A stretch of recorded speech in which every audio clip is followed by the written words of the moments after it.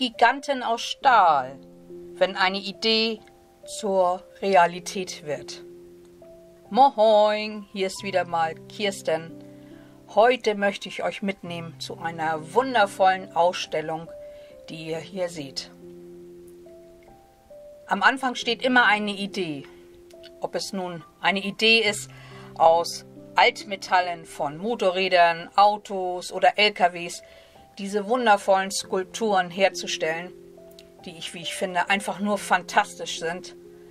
Oder aber ich habe eine andere Idee, in welche Richtung auch immer dies gehen sollte, sollten wir immer unserem inneren Impuls folgen.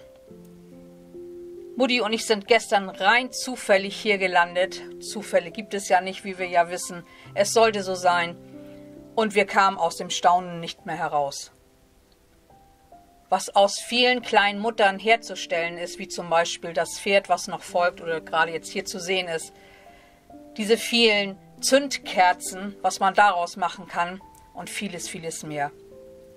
Wir kamen mit vielen lieben Menschen ins Gespräch. Wir haben gelacht und gescherzt und wir haben uns alle gefreut, haben uns gegenseitig fotografiert und da war wieder so viel Miteinander. Und ich musste wieder sehen, was Freude machen kann. Gemeinsam sich freuen an schönen Dingen, gemeinsam sich was Gutes tun. Und wenn es heißt, wie ich das gestern auch wieder gemacht habe, wo vier Engländer auf einer Bank saßen, im Hintergrund war der Stier zu sehen. Stier ist ja mein Sternkreiszeichen. Und ich fragte, ob ich sie fotografieren solle, weil sich immer alle gegenseitig fotografiert haben. Natürlich boten sie mir an, dass auch ich fotografiert werden kann, aber ich habe noch auf Mutti gewartet. Und ich finde das immer so wunderbar, diese zufälligen Begegnungen. Und wenn man wirklich seine Fröhlichkeit, sein liebevolles Miteinander oder die Liebe, die man im Herzen hat, einfach weitergibt. Und wenn man einfach spontan sagt, oh ja, soll ich von euch mal ein Foto machen, damit ihr alle drauf seid, das ist einfach noch schön und das erwärmt wirklich mein Herz. Und im Moment ist es ja wirklich so, dass ich jetzt mit vielen Freunden gesprochen habe. Wir sind alle der Meinung, gerade in dieser Zeit, wo ja auch viel passiert, dass wir wirklich eins nicht vergessen dürfen. Jeder Ärger, den wir heute haben, oder jeden Frust oder Wut, die wir haben, ist einfach vergeudete Lebenszeit. Wenn wir etwas nicht ändern können, dann lassen wir es einfach. So haben wir das jetzt gemacht, Mutti und ich. Denn wir wollen wirklich uns es schön machen. Und wir freuen uns auf schöne Einladungen, die wir bekommen haben von lieben Freunden.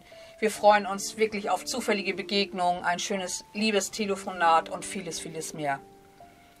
Ich habe dieses kleine Video jetzt ganz spontan zusammengestellt für euch, damit ich euch nur zeigen kann, was schöne Dinge bewirken. Vielleicht gefällt es dir genauso wie mir. Ich musste das einfach alles fotografieren, weil ich einfach nur total begeistert bin. Und so ist das wirklich im Leben. Folge deinem Herzen und deiner Idee, die du vielleicht gerade hast, egal wie verrückt sie ist, versuche sie umzusetzen. Und freue dich daran, dass du vielleicht auch anderen Menschen damit eine Freude machen kannst, inwiefern das auch aussieht. Ich hatte gestern wieder viele nette Begegnungen und Mutmacher und das ist einfach immer nur schön.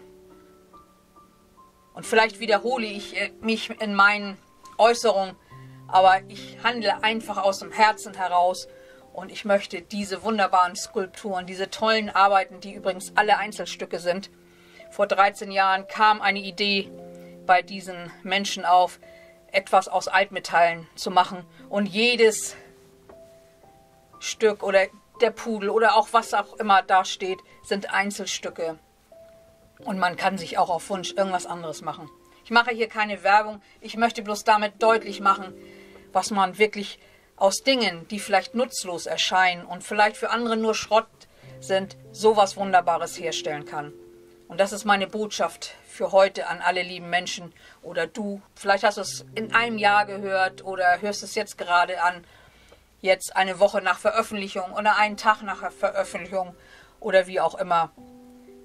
Denn dies ist eine Botschaft. Höre wirklich auf dein Herz und nimm es an Angriff, was du jetzt gerade umsetzen möchtest. Hab keine Angst davor, den ersten Schritt zu tun. Denn wir wissen alle nicht, wie viel wertvolle Lebenszeit wir noch haben. Oder wie ich noch habe. Und die sollten wir nicht vergeuden mit irgendwelchen nutzlosen Dingen, sondern wir sind hier, um auch ganz viel Freude und Liebe zu erfahren und Glück, die wir mit vielen anderen lieben Menschen teilen wollen.